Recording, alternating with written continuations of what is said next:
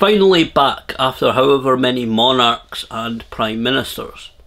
Talking of Englishmen, there is a lot of talk in professional wrestling right now about the contractual status and future of one William Regal. Kind of ironic. Um, part of what I did when I didn't really mean to, but take this kind of elongated YouTube break, was to attend the Inside the Ropes Gentleman Villain an afternoon with William Regal event. This was at the Classic Grand in Glasgow on October 1st, and it was a really good show. Uh, we had travel issues which put a bit of a dampener on our day a little bit, but the show itself was really good. Uh, you know, Regal does a, the podcast with Matt Koon, which is where they, they borrowed the name from. I had to admit I kind of put off and I, I haven't had the opportunity to sit down and listen to some of the episodes I really want to. I've listened to quite a few of the episodes, but I kind of put off at the time listening to some of the episodes because I didn't want to.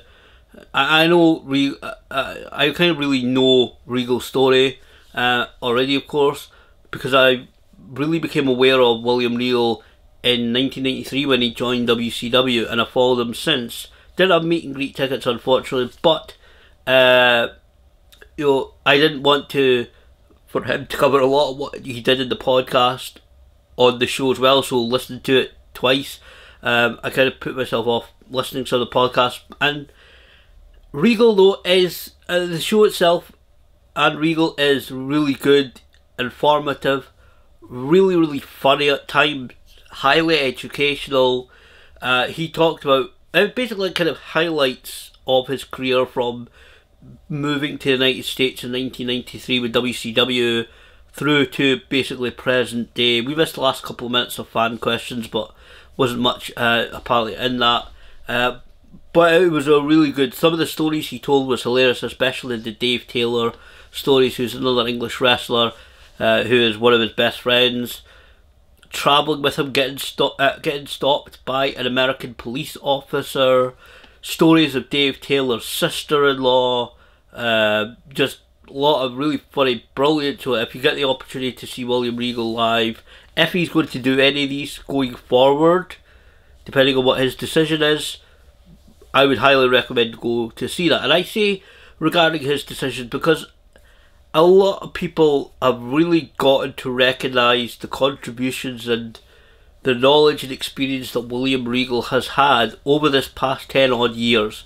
From his work backstage with WWE, NXT, talent scouting, putting various different tournaments together, uh, being kind of basically almost the genesis a little bit in one way of talent wise at least of NXT UK and what could potentially be NXT Europe, and I think that's partly maybe why WWE want him back, is to maybe look. I don't know how far they're getting the talent or how far they're putting NXT Europe together so far, but I think that's something he could certainly contribute to.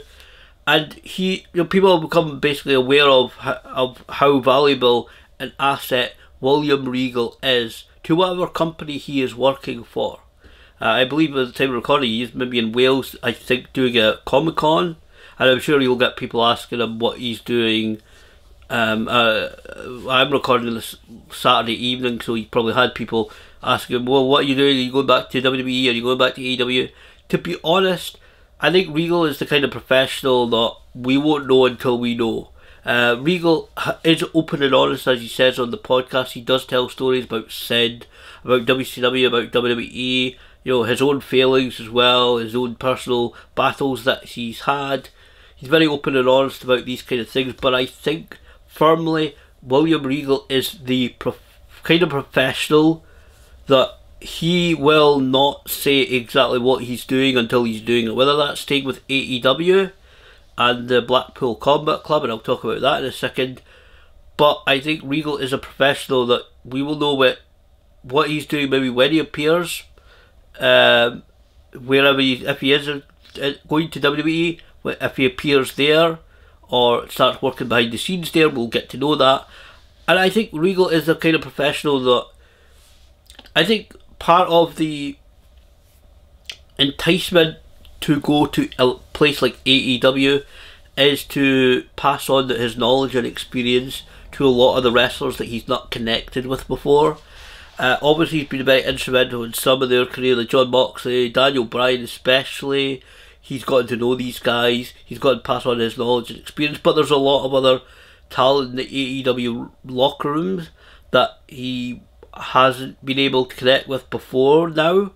And so, to, I think something that really uh, got his interest in terms of working with AEW because, as he said before, he was maybe thinking about just taking a break from the industry for a while, about a year or two, chill out, relax. Because obviously he's been on, he's been wrestling since uh, you know the 1980s, on the go all the time. So he wanted to take at least a year or so off.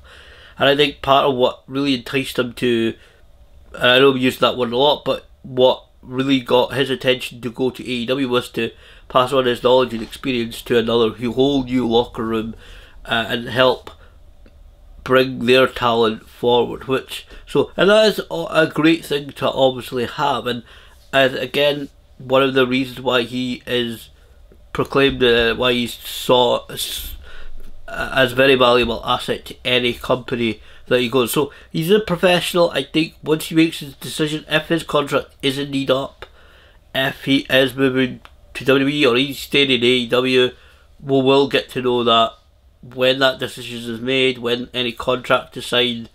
Uh, we will obviously get to know it at some stage because let even say in January whether that contract is for one year or it's further on, we will know it one of the things he is a, a professional is about, uh, and one of the things I think it would be a shame if he did leave AEW, and I will admit I haven't sat down and really watched a ton of AEW television wrestling matches. I haven't really watched a lot of full shows lately of wrestling, uh, unfortunately, just other things.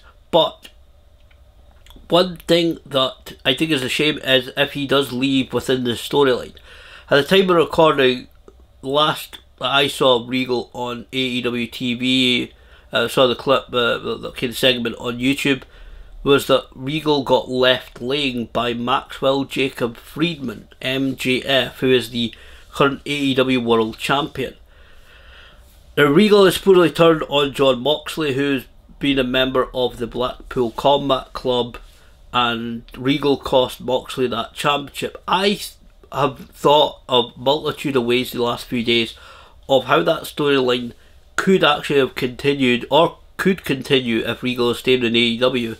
Um, I won't go into all of them, but a couple of the ways I thought would be potentially, you know, to recruit MJF, you know, and uh, whether it's Regal and MJF playing out something, whether it's the whole Blackpool Combat Club playing out something and really end up um, recruiting MJF to be a member, or it could be a whole work thing between MJ, uh, between Regal and Jon Moxley to allow MJF to build himself up to be world champion, to achieve his dreams of being world champion, and then simply squash it, then turning around, revealing it was all a swerve, and squashing MJF like a bug just because he, they're uh, just because he's their enemy. There's quite a few multitudes of different ways that I've thought about this storyline continuing, and I think Regal obviously in that storyline, that whole situation would be very, very intricate, uh, intricate, um, an integral part of that storyline. Uh, I honestly, I'm not sure what Regal is going to do. Uh, I'm going to get, if I had to give my opinion, I'm I really don't know. Uh, again, it depends on what William Regal is thinking about. He spoke during that show in Glasgow about being kind of an older guy, an older guy. You know, he had these battles. Uh, you know, doesn't know how long in life he's got left. And he says that on a regular basis. Hopefully, he's got many, many, many years to go uh, around for a long, long time. And I think that's kind of part of it. Where does he see himself? Uh, depending on what the kind of because uh, I think he's getting to the stage where maybe he wants a bit of a lighter schedule. Um, you know, it's that old saying in a, in a wrestler that the mind is still willing, but perhaps the body is not. He's had his health issues, of course, so it depends on that as well. What is WWE offering? What do they want him to do? He's not a young guy anymore, unfortunately, though he's obviously retired from in ring competition. So I think he's going to have to take a serious look at what. And I think he is one of the guys, to be honest, that deserves it if anyone could, has the should have the opportunity, especially in a bidding kind of bidding thing like this, if WWE truly does want to sign him again, you know, again Triple H relationship and so forth, but AEW maybe wants to keep him. I think Regal is the kind of guy that should be allowed to decide what he wants his future to be. And again, the professionalism, if he's got to AEW, he spent this year in AEW and it's not been for whatever reason what he wanted it to be, he's not going to say that. He's not going to say, oh, well, there's this, you know, there was this, there's no communication in the locker room, or there's this that doesn't work, or there's that that doesn't work, or this, it's not the atmosphere that I would like it to be, or there's political things that I'm banging my head against a brick wall, and so I'm heading back to WWE because at least I know how things work there, even though things have changed. But if anyone deserves to have the opportunity to decide his future, it's William Regal. So I'm looking forward to see what he does. He'll be an asset either way, whether it's WWE, AEW, whatever Regal decides, he will definitely be a tremendous asset in front of the camera and behind the scenes, no matter what role he does. So certainly, I would recommend checking out the Gentleman Villain podcast that he does with Matt Koon. Certainly, uh, download some of the episodes because if he does disappear, he, uh, he we, we might see him disappear from the podcast. Unfortunately, uh, or the podcast disappear depending on where he goes, what he does. But certainly, hopefully, wherever William Regal goes, whoever is running whatever company genuinely appreciates him